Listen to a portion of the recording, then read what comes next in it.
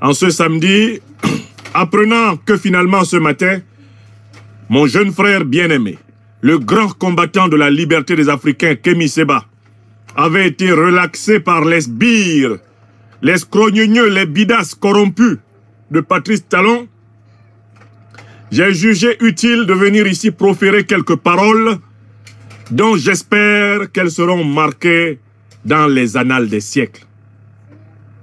Je suis venu ici dire ma conviction que M.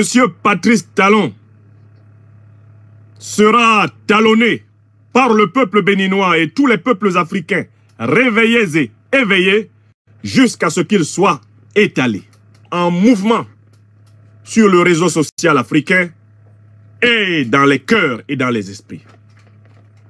Maintenant, la justification. Je ne dis pas que Talon sera talonné jusqu'à son étalement pour rien. C'est à la suite des gouttes d'eau qui ont débordé complètement le vase de la patience du peuple béninois et de la patience des peuples africains en lutte. Talon a débordé le vase de nos patiences. Et voilà pourquoi il est inscrit dans la même liste que tous les autres satrapes reptiliens africains qui ont vocation à finir dans la poubelle de l'histoire africaine. Patrice Talon est coupable d'avoir commis trois fautes très graves contre le peuple béninois et contre le peuple africain en général. Écoutez-moi bien. La première faute de Talon, c'est que Patrice Talon a procédé à l'humiliation publique de l'armée béninoise en se mettant sous la protection de l'armée rwandaise. Patrice Talon a commis une deuxième faute. Il n'aurait pas dû la commettre. C'est le mépris qu'il a pour la société civile et pour l'opposition politique en général au Bénin. Talon s'est progressivement transformé en un redoutable autocrate qui emprisonne à tour de bras, arrête à tour de bras tous ceux qui expriment le moindre avis contraire au sien.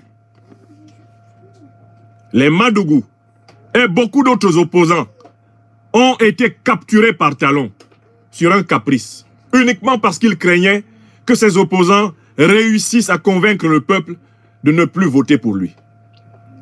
Talon a poussé son mépris de la société civile béninoise jusqu'à déclarer la guerre au peuple nigérien contre l'opinion dominante de la société civile béninoise au quotidien. Troisième motif.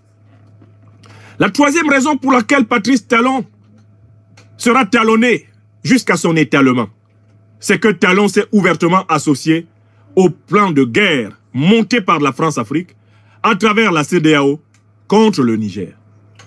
Talon s'est inscrit dans la lignée multiséculaire des traîtres à l'Afrique, de ces Africains qui contribuèrent à la traite négrière. Patrice Talon, qui sera talonné jusqu'à son étalement. Patrice Talon, qui sera talonné jusqu'à son étalement. Je vous remercie. Et à mon jeune frère Kémy Seba, de retour à la maison, je dis courage, énergie, sois béni. Talon n'a pas ta dimension. Talon ne t'atteindra même pas au talon.